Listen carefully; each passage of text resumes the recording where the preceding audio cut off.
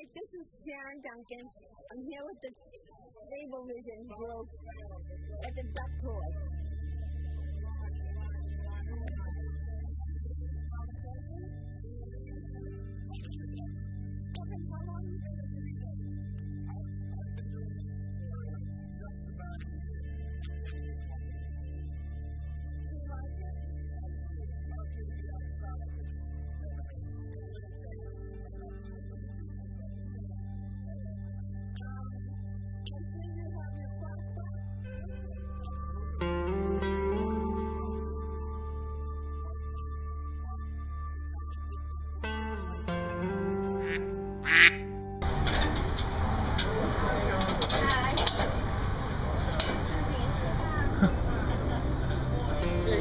I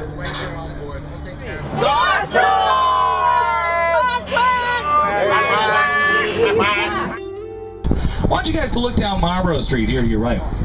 Look down Marlborough Street and just kind of notice how long and how flat and how straight Marlborough Street is. Seemingly goes on forever down to our west. That's kind of rare in Boston. Boston streets are known to be curvy, windy, and hilly. Why are things so different here? This is a new neighborhood. 200 years ago, everything that we're driving on right now was all water. All water or swampland or some combination of the two. This was literally the bay that was in back of Boston. This built this in over a course of 40 years. It took us 40 years to do it, working six days a week, 24 hours a day. Just it's an entirely man-made neighborhood with wide, straight boulevards that intersect at regular intervals, making this a much easier neighborhood in Boston to navigate through, especially if you ever find yourself driving, I don't know, let's say a 36 foot long amphibious landing craft.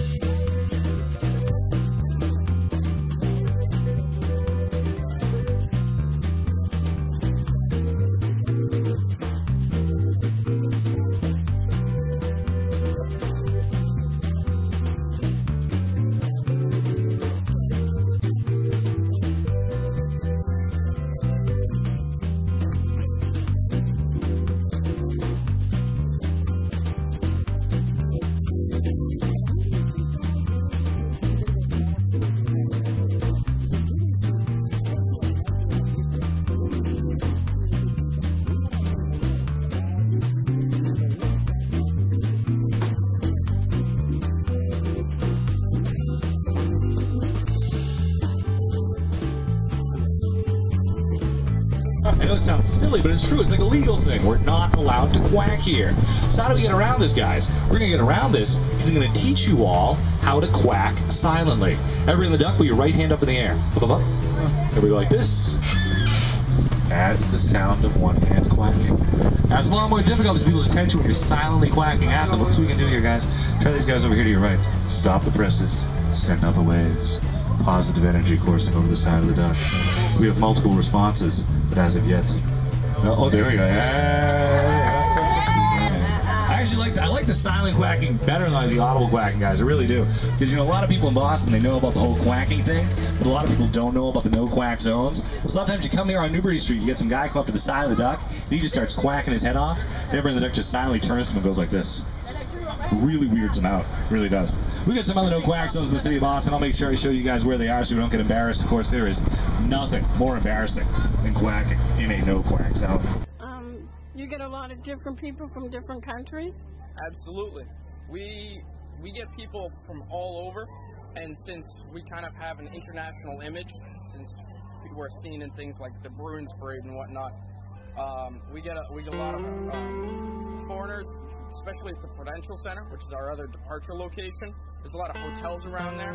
It's, people see the ducks going by all day, so they're like, "Hey, that looks interesting." And we've got we've got a solid tour. Our drivers are excellent. I mean, where else can you go to work? Everybody you meet is either skipping work or they're on vacation. Do you do you meet a lot of famous people in Guito? I've had, yeah, I've had a few famous people on board: Tom Hanks, Kirstie Alley, and so on. I mean, they- we got a lot of stars that come on board here, and they they want to experience it too. How long have you been doing this in Guito? 14 years.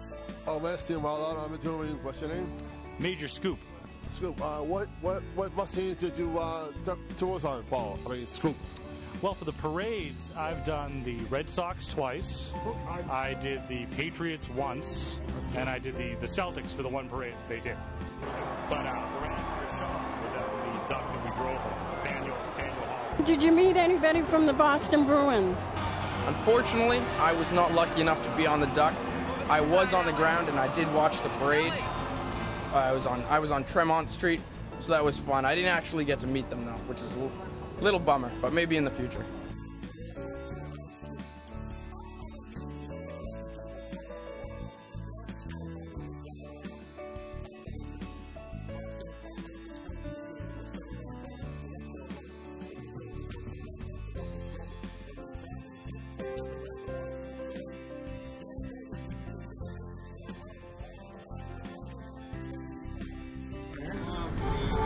Bring the duck down to the bottom of your ramp. Bring your duck to a full and complete stop. Put your duck in first gear. Engage the propeller, which is over here on your left. Just gonna roll a little bit she pops out. There she goes. All right, one long blast of the horn, and here we go to the Charles River, guys. Here we go. Here we go.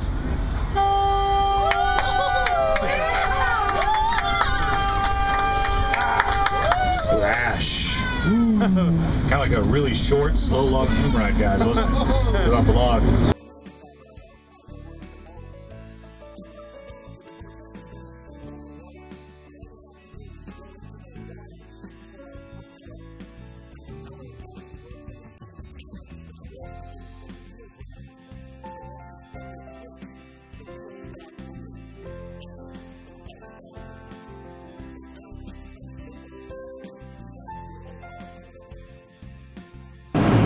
What's your name? Camille. Camille. Nice to meet you, Camille. Where are you from? Malden. Malden, Madison. And you're all here now. What? what is, this is a this is a television uh, thing that you guys do, right? Excellent. So you guys go all over just filming random things. Excellent. You chose the duck tours today. Excellent. You guys having a good time back there? Yeah. Yeah, it's a good time, right? Yeah, not bad. Not bad. Not bad. We have our moments, that's for sure. now, have you ever driven a boat before? No, you've never driven a boat before? No. You're actually doing quite a good job. Not bad at all. Not bad at all. It's pretty easy, right? It's not bad. Not bad. At all. It's nice. Now, the duck's going. Uh, do you want to go a little bit faster? Go for it, Camille. You can do it. You don't want to hurt anybody? No. like, You guys want to see top speed on the duck? Yeah. All right. You guys sure you can handle that? Yeah. All right. All right. All right. Now hold on to the wheel, okay? Hold on to it nice and tight. This is gonna get crazy here for a little bit. Here we go. Oh yeah, you guys feel that? That's power right there. Feel the wind in your hair. Look at the shoreline, guys. Like look at the kaleidoscope. All those colors mixing together so fast. Is that a tree? Is it a person? I can't tell. Yeah, ducks don't get very fast. They just get kind of loud. That's pretty good. Well, you did a great job driving the duck. Give a round of applause, guys. You good job driving the duck. Excellent work, Camille. Excellent work.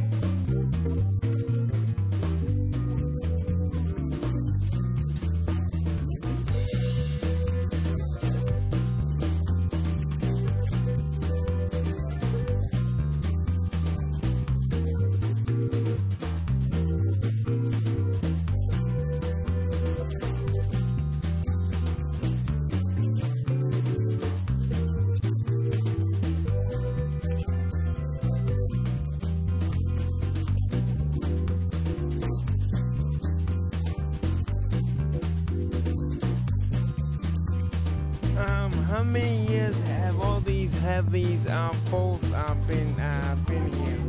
Uh, Boston Duck Tours is in its 16th season, I want to say right now. 16 seasons? 17? 16, 17. It's been a long time. We've been in operation since 1994. So let me do the math. Yeah, 17 seasons. I just want to know because I seen them all over the place.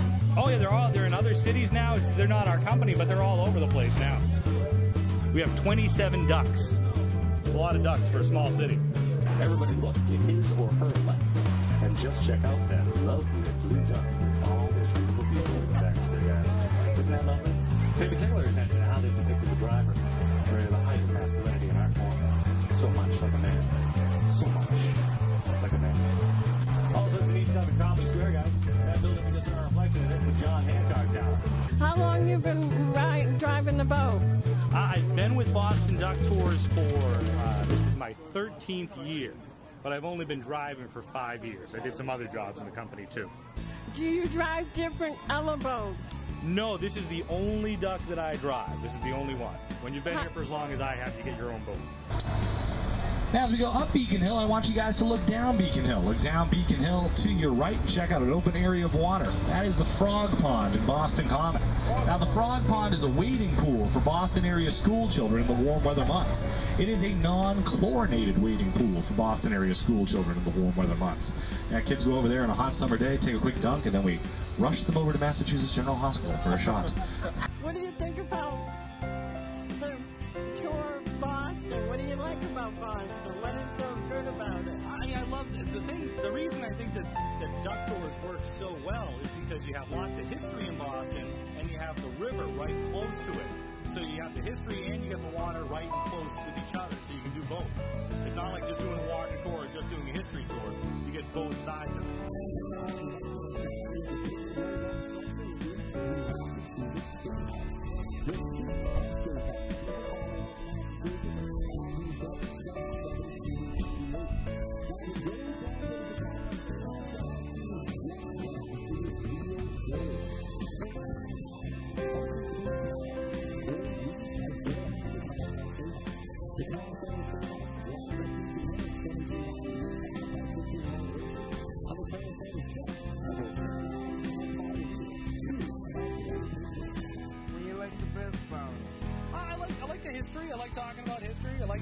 jokes. You know, it's, it's a good job for me. And how about um, the past? The history, um, I I really like talking about the American Revolution because that's a big part of Boston's history. Oh yeah. What is your favorite part of the job, Anguito? Coming in every day, coming in every day and doing the work. That's that's great. Plus, we get some time off in the winter because the river's a little frozen, so we get some time to spend with our families. It was nice talking to you, Anguito. Nice talking to you too. Thank you.